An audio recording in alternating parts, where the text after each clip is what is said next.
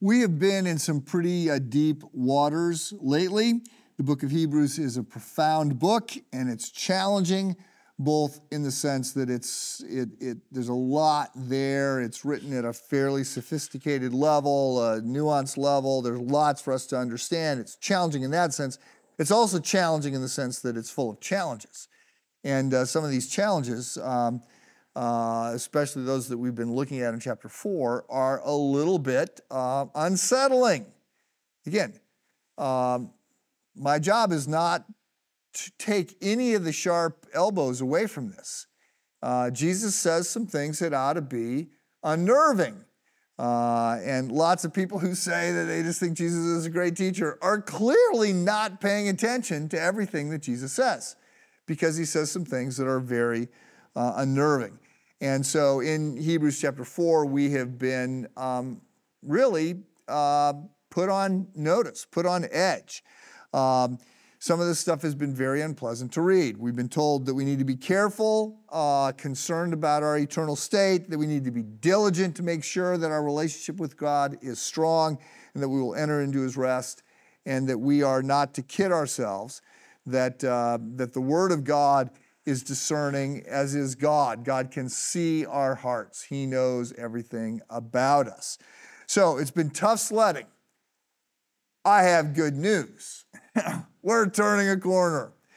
Uh, we start a new section, one that's going to actually work all the way into uh, chapter 10, uh, and more importantly, one that has a very uh, different feel. Martin Luther said, you know, having uh, beat us up, having uh, scared us, uh, having dramatically unsettled us and terrifying us, God now comforts us. And, and Luther says, uh, after pouring wine into our wounds, he now pours in oil. Uh, I'm not sure either of those sound like a great plan, but anyway, I'm living 2000, well, 500 years after Luther. So, um, we're going to be encouraged by, by now turning to Jesus. And we're going to be uh, told that Jesus is not simply the exact representation of God, the radiance of God's glory. You know, he's, he's not just all of those things. We're going to be told uh, that Jesus is our high priest.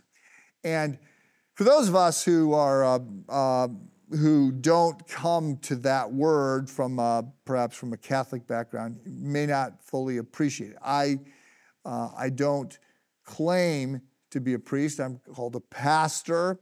Uh, so I, uh, I, you might have noticed, maybe not, but I, when I am uh, officiating at communion, I don't stand in front of the table. I don't stand in front of the elements. I stand behind them symbolically, you don't go through me to get to God. Uh, you, uh, you, priests, in a Catholic sense, are understood to be, as in the Old Testament sense, sort of intermediaries. They represent uh, the people to God, and uh, and so you go through the priest to get to God. You can you can go to the priest to confess your sins. Now, people come to me to confess sins, and we're to confess our sins to one another, but it's not in the sense that I can offer uh, forgiveness to you. I can point you, I can lead you, I can pray with you as you go yourself to Jesus, who is our high priest.